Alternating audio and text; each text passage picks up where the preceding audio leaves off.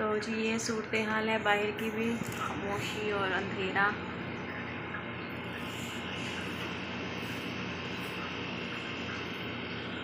की भी जो लाइट है मैंने ऑफ़ कर दिया है। और ये ईमान ईमान हाय बोलो। हाय फ्रेंड्स ईमान डाल रही है भाई चिड़ियों को चावल जैसे दिन निकलेगा तो चिड़िया खा लेंगी। अस्सलाम वालेकुम कैसे हैं आप सब? उम्मीद करती हूँ आप सब ठीक होंगे और हम भी ठीक हैं, अल्हम्दुलिल्लाह।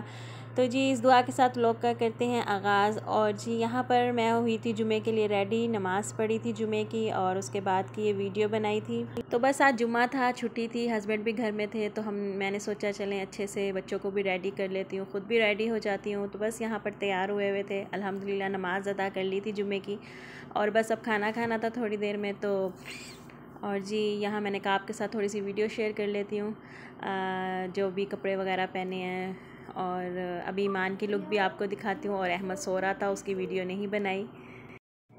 ये है मेरी प्रिंसेस, ये भी रेडी हो गई थी और तो अच्छा लगता है जुमे वाले दिन तैयार होना और अच्छे से रेडी होना और इसलिए भी कि एक तो जुमा भी होता है और दूसरा वैसे ही लग रहा था बिल्कुल कि जैसे वाकई ईद का पहला दिन है तो बस लग रहा था जैसे ईद के लिए तैयार हो रहे हैं। तैयार इसलिए भी हो गई थी क्योंकि खाना जो है वो बाहर से ही मंगवाना था। मैंने कुकिंग नहीं करनी थी, वरना तैयार होकर तो कुकिंग नहीं होती। किचन में तो नहीं जाया जाता। तो बस इसीलिए जो है वो हस्बैंड और ईमान इस वक्त गए हुए हैं खाना लेने के लिए और मैंने बिछा दिया अहमद सो रहा था, नहीं तो मैं भी साथ चलती, अहमद भी साथ जाता, लेकिन उसका टाइम था सोने का, वो लेट ही सोया था जहर के टाइम ही वो सोया था, सारी रात से और सुबह वो जाग रहा था तो बस इसलिए मैं और अहमद नहीं गए तो हम घर में ही वेट कर रहे थे। वैसे भी इस टाइम बहुत गर्मी होती है, दोपहर के टाइम में, अभी वो जब लेकर आए थे खाना तो बता रहे थे कि बहुत ज़्यादा गर्मी थी अच्छा हुआ तुम लोग नहीं साथ गए तो हम इसलिए कहीं भी नहीं जाते गर्मी के बच्चा छोटा है ना तो फिर बच्चे के तो ख्याल करना पड़ता है, बच्चे को गर्मी लग जाती है। तो बस इसी वजह से उसका ख्याल करते हैं तो हमने ईमान की दादी के घर जाना था तो वहाँ पर भी हम नहीं गए। सिर्फ़ इसी वजह से कि बच्चा एक तो सो रहा था, उसकी नींद का टाइम था, उसकी नींद डिस्टर्ब होती और दूसरा गर्मी बहुत थी। ये है मीठा, ये मीठा भी साथ लेकर आए थे, इसे यहाँ पे बोलते हैं कुनाफा और अरबिक डिश है, अरबिक स्वीट डिश है। और जी, इसके ऊपर शीरा भी डलता है, लेकिन हस्बैंड शीरा नहीं डलवाते, क्योंकि बहुत ज़्यादा मीठा हो जाता है तो हमने इसे ऐसे ही नॉर्मल खाया। और चावल में मंगवाए थे मखलूबा बहुत मज़े के होते हैं। और ये रूम की भी क्लीनिंग कर दी है डन और वो वाली न्यू वाली बेडशीट जो मैंने वो चेंज कर दिया और ये धुली भी दूसरी बिछा दी है। और देखें ईमान जो है ना, अपने कपड़े भी उसने यहाँ फेंके हुए हैं। ट्राउज़र पहने रखती है और स्कर्ट उतार देती है। फिर बाहर जाते हुए पहनती है, पर्स भी देखें यहीं पड़ा है। ये सुबह से उसने ना तैयार जब तैयार हुई है, उसके बाद से ये यहीं पड़े हैं।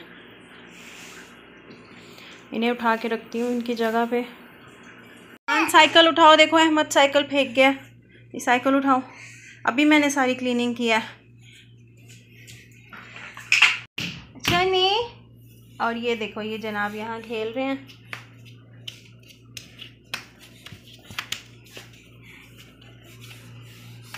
यहाँ पर बना रही हूँ, रात का डिनर और सालन बना रही हूँ, सिंपल सा, काली मिर्चों में बना रही हूँ और हस्बैंड कह रहे थे कि बस रेड मिर्चें ना डालना, काली मिर्चों में हल्का सा बना लो। तो बस वही बना रही थी सालन रात के डिनर के लिए और रोटी मंगवा ली थी साथ बकाले से ही। क्योंकि हस्बैंड कह रहे थे, मेरा बाहर जाने का मूड नहीं है, तंदूर से रोटी लाने का। तो बस हमने जो है ना सिंपल बकाले से रोटी मंगवा ली थी सालन के साथ। और दोपहर के चावल भी थे, वो गर्म करूँगी। दोपहर को हस्बैंड ज़्यादा लेकर आए थे, क्योंकि कोई आ ही जाता है, जुमे का टाइम होता है ना, जुमे का दिन होता है, छुट्टी होती है तो बस उन्हें था शायद कोई आ ना जाए तो इसलिए वो ज़्यादा लेकर आए थे। और हमने जो है ना, वो दोपहर वाले भी बच गए थे, और ये भी जो है, वो बच गए थे, नहीं खाए थे। तो बस अभी ने अभी गर्म करूँगी। और जी, ये है डिनर और मैंने यहाँ पर जो है वो लगा दिया था सुफरे पे सब कुछ। सालन है, चिकन है, चावल है, रोटी है। अल्हम्दुलिल्लाह, माशाल्लाह। और इधर बन रही है चाय। साथ चाय बना रही हूँ साथ सफाइयाँ कर रही हूँ। बस हो गई है सफाइयाँ, बस चाय पीते हैं। और अहमद साहब जो हैं वो मेरी गोदी में आ गए हैं, रो रहे हैं अब। इनको भूख लग रही है। सिरी ले खाता नहीं है। बिस्किट खाते हैं? बिस्किट? मामा बिस्किट दें आपको? हॉट है, हॉट। आ जाओ मेरे पास ही। और यहाँ पर टाइम हो रहा है, रात के एक बज रहे हैं और मैं चाय बनाकर पी रही हूँ फारिक होकर। तो मैंने सोचा चले चाय पीते हैं, क्योंकि सारा दिन तो पी नहीं है, चाय खाने के बाद ही पीती हूँ। तो बस अब खाना वगैरह तो खाए हुए काफ़ी देर हो गई थी हमने कहा, और एक बज रहा है रात का। बस यहाँ पर चाय पीती हूँ, चाय बना रही हूँ। बाहर भी इतना सन्नाटा हुआ हुआ है, खामोशी हुई हुई है, सब सो रहे हैं, लगता है। तो बस एसी चलने की आवाज़ें आ रही हैं।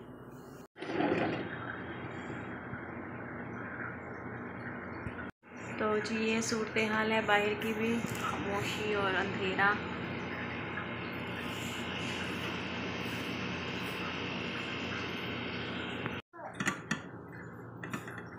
चाय डालते हैं। कप में